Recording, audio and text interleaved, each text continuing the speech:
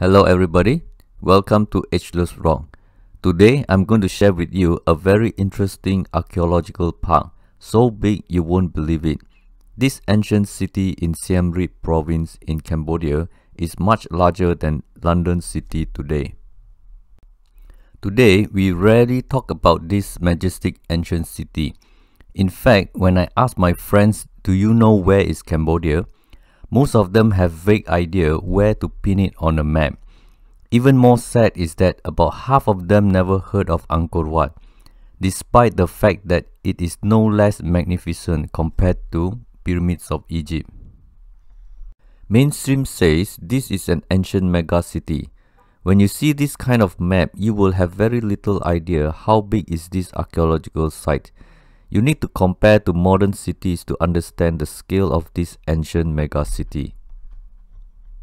The main event of this archaeological site is Angkor Wat and Angkor Thom and the east and west Barais. It is so vast it stretches 20 kilometers of distance from east to west. You will probably need a 4-day tour to fully enjoy and understand the downtown of Angkor's megacity Angkor Wat, Angkor Thom, West Baray and East Baray will blow your mind every day for 4 days. However, Angkor Archaeological Park is much bigger than Mega City downtown. It is safe to say it is 35 kilometers by 25 kilometers. From the northernmost temple to southernmost temple, from the furthest western temple I can see on Google Map to the furthest eastern temple, it is a journey approximately 110 km drive. If one square box is 2 km square, it will be approximately the size of London city. In comparison to Angkor Wat and Angkor Thom, they are 5 times city of London. That's how big this ancient mega city is. Even more crazy is that the entire main attractions with lots of famous temples to see, is 36 times larger than the city of London.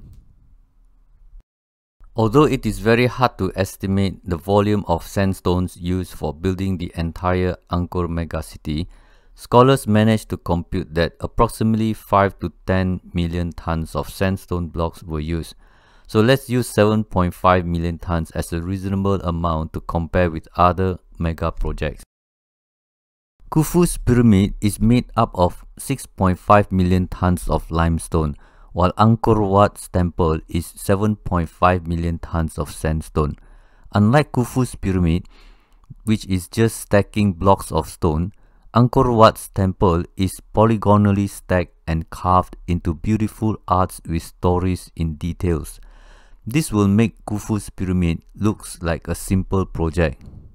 If you replace the temple with Khufu's pyramid, it will look small compared to the entire site. Can you imagine the magnitude of this project just to dig the moat? Do you think this event can go unrecorded? Do you think locals actually forgot how to make polygonal blocks of sandstone? Do you think ancient chisels is all you need for this monumental achievement? I definitely don't think so. But that's not all.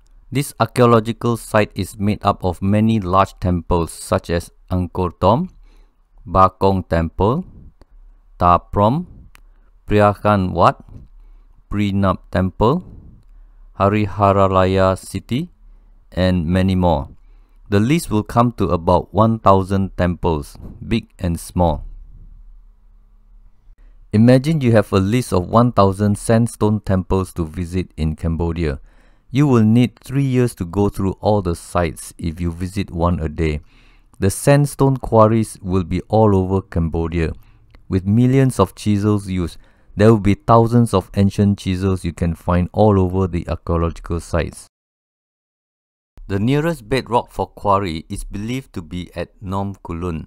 With that amount of sandstone quarried, mainstream archaeologists are still coming up with theories as to how did the ancient builders transport the sandstone from Phnom Kulen plateau which is about 50 kilometers away. With this kind of marks on the ground, it is normally interpreted as quarry. However, this area is too small to be the result of 10 million tons of stone blocks for Angkor Wat.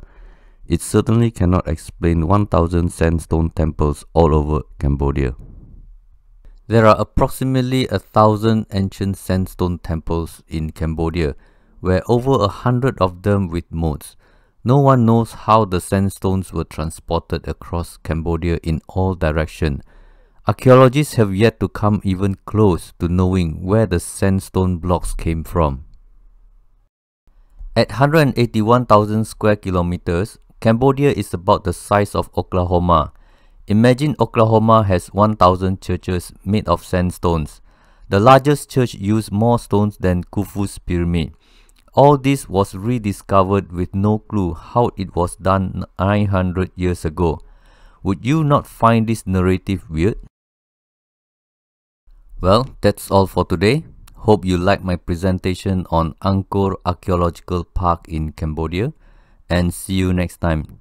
Lee Hein.